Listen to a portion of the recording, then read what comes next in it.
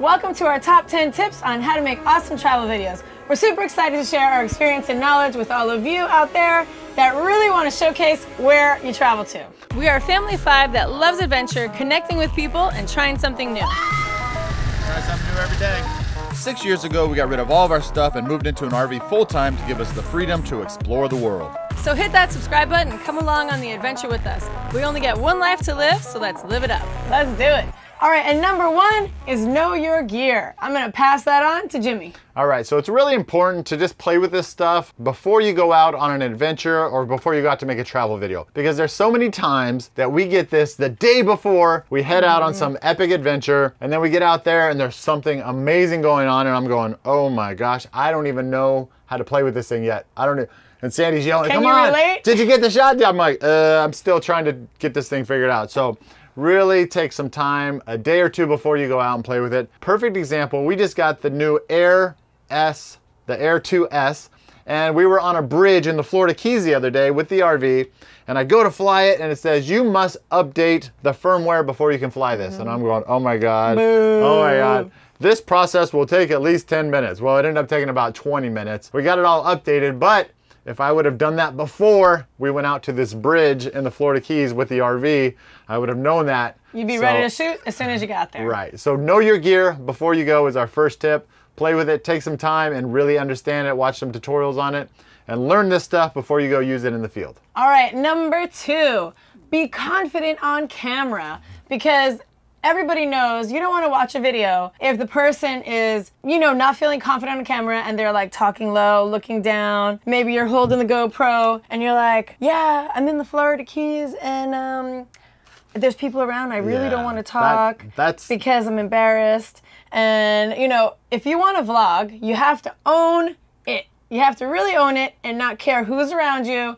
Really be excited, project your voice, have energy. And even when you have a lot of energy, it doesn't come across that way on camera. So you can overdo it a little bit just to make sure because there's nothing worse than getting into editing and realizing, uh, I was talking too low, or I looked away from the camera too much, or I was looking down because you know, just wasn't feeling it. One of the biggest things that we always promote is really be comfortable and have fun. Because if you're having fun and you're confident, it really, really shines through on the other side in the camera. All right, number three is have a hook to your video. Now let's explain this real quick. A hook is something that grabs people's attention and shakes them up at the very beginning of your video and says, hey, this is pretty cool stuff, pay attention. Mm-hmm. And a hook can last anywhere from five to 15 seconds. And we start every one of our videos with a hook because as people are scrolling through YouTube and seeing what videos they wanna watch, you better grab their attention because if you don't, people aren't gonna watch your stuff. So, what are some examples of a hook, Jimmy? Oh, let's see here. Something epic, crazy, shocking, out of the box that happens any point throughout your video. You just pull that little nugget out and put them in the beginning, and that's a hook that grabs people's attention. So say one of our recent videos, I went to go catch the drone while we were on a boat, and as I had my hand up, Jimmy pressed down little bit on the drone, and it cut my finger. And so I was like, ah, ah, ah. And so he put that in the very beginning, so people go, I have to see what happened. Like, did her finger get chopped off, you know? or would a montage be considered a hook? Yeah, you can do a montage in the beginning. Just anything exciting, out of the ordinary that would help. Well, that showcases what's to come later in the video. So people go, oh, if that's later in the video, I have to watch it now. So after number three, which is the hook, which would be the very, very, very beginning of your video, now we have to go into the elements of a story. And there's three elements that every story must have, and that is the beginning, middle, and an end. If you don't have these three elements in your video, your video is missing something. I always, I always describe it like this. You're making a, a cake, right? You're baking a cake. You need all the ingredients for your cake to be complete. Otherwise, your cake is not gonna taste that good. So every video must have a beginning, which kind of sets the stage. The middle is like the journey that you're going on, and the end is the conclusion or wraps up, summarizes what the whole video was about or what just happened or what was your takeaway. So make sure you have those three things in every video Tell a story. after your hook. For number five, we have throw in extra elements, whether it's a time lapse, slow mo, hyper, what is it? Time warp. time warp, yeah, time warp. You want to add one. in some other elements opposed to just a straight shot the entire time. Keep people guessing.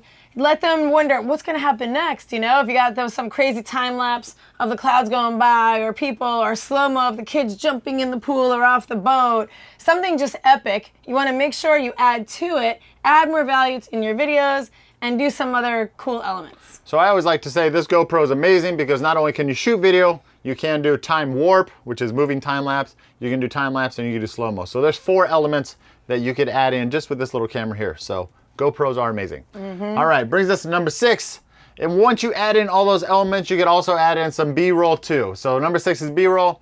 And B-roll, we say it's beauty shots, but B-roll means it's actually footage that complements the A-roll. The A-roll would be your story or the thing that drives your video forward. And the B-roll is a layer on top that kind of helps accentuate what the story is. So I like to look at B-roll as it really showcases. It's, it's another level of showcasing where you're at. So say we have we're in the Florida Keys right now. We have a gorgeous beach behind us with the palm trees. So you really want to showcase the surrounding. Like you got the water splashing on the shore and the sand and you got the palm trees mm. swaying in the wind. So showcase that. You want the viewer to feel like they're there with you in these amazing locations. Or whatever's going on, if there's something going on where you want to highlight details of it, you know, really showcase someone's cracking open a coconut. So you want the machete shoot, going through the coconut. Show show details of that because that just makes the people feel like they're there with you.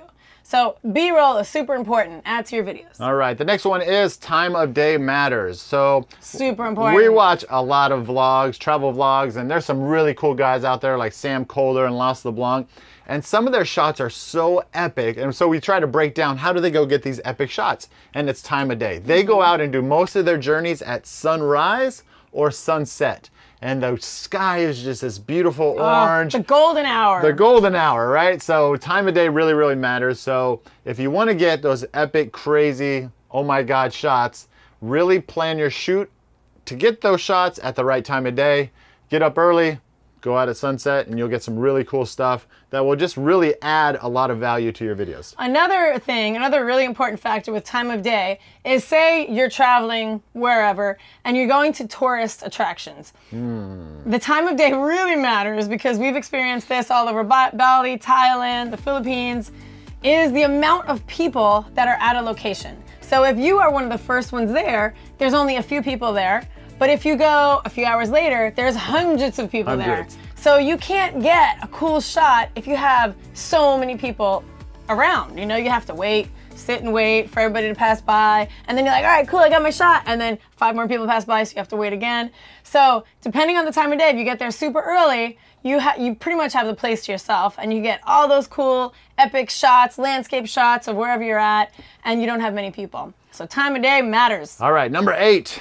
Moving along pretty quick here. Number eight is shoot to edit. And that's a really big That's point. all him. So we used to go out and we did this technique called spray and pray, which means you film everything and you pray that you got something good at the end. Yeah. And then you get home God. and you spend hours and hours and hours and hours and hours editing. And that's what is a big turnoff for a lot of people and why they don't want to make travel Mm-hmm. videos because there's a lot to go through. If you do an eight hour adventure, I mean, you got to come home and go through eight hours of footage. So shoot to edit. While you're shooting, think where this is going to play in your story. Do I have a beginning? Do I have a middle? And do I have an end? And when you got all that and you feel good about it, you can actually put down the camera and enjoy the rest of the have some day. fun. Yeah, because you know you got everything that you need when you get home to edit. So shoot to edit is number eight. It doesn't have to be stressful doing all of this stuff. It sounds like a lot, but if you're actually having fun and are prepared going into all of these things that you do, then it could be pretty seamless. Right. We've gotten it down to a science just because we're very comfortable shooting video anyways, but that's why we know that you can do it too. With all of these tips, will help you get you going and you don't have to stress out. Okay, number nine is shoot in threes. So this is really important. People don't even think about this. Is shooting in threes, wide, medium, and tight. So how we like to explain it is say you're at a location and you really want to show people where you are. So you do the wide shot, but then you do a medium shot to bring people in. So if you any movie or TV show that you watch, they're going to do this. So pay attention next time and you'll be like, "Oh, that's what they're talking about." So shoot in threes. Oh, what's your song, Jimmy? All right, You so we get to a song here. we get we get to a location, and I always say one, two, three, we shooting threes. One, two, three, we shooting threes. I don't know how good my singing is, but we'll give it a shot. All right, that brings us to number ten, which is show, don't tell. You Yes. Want to take, you want to take this one over? All right, so show don't tell. We love to do a, side-by-side comparison of a talking head saying, man, I went to the Philippines. It was so epic. We did all these cool things. We hung out with elephants and we snorkeled and we swam with manta rays. It was super cool. Now, you can look at me saying all of that, which is probably pretty boring. Or you can have the same shot and put all of the B-roll on top of that of when I say, we swim with manta rays, we go to the clip of us swimming with manta rays and you can see them all beautiful. Or when we went and hung out with elephants, we go to the shot of us hanging out with elephants. So if you show the footage and the visuals to what you're saying, it is way more mesmerizing for the viewer opposed to just watching you as a talking head. So always, always, always get the B-roll, get the footage of what you want to talk about in your video and showcase the actual footage opposed to you just talking about it. All right, so I hope you got a lot of value out of our top 10 tips to make better travel videos. We have an online course that covers all of this. We have a huge, huge, huge passion for travel and documenting our adventures and sharing it with the world and inspiring other people to get out there and try something new. And we hope that you guys enjoyed this and what, Sandi? Well, if you do want to learn more, this was just the tip of the iceberg. We have a ton more information in our travel course. So stay tuned. If you want to learn more, sign up. And get out there and try, try something, something, new.